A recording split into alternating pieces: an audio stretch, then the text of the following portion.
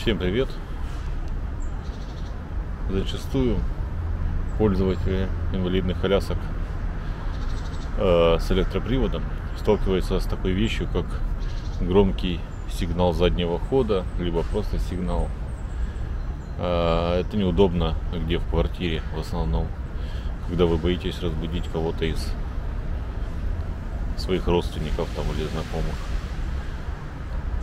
Вот. Что же делают? Обычно там пытаются программно как-то его уменьшить, этот звук, э, чего делать категорически запрещено. Вот. Это в целях безопасности. Но иногда встречаются люди, которые делают вот такие вот вещи. После чего выезжают на дорогу, ну и, соответственно, забывают вытащить этот кляп. Как на любом сделать тише звук. А ну понажимай. При помощи подручных средств. Кусочек ватки решает любую проблему.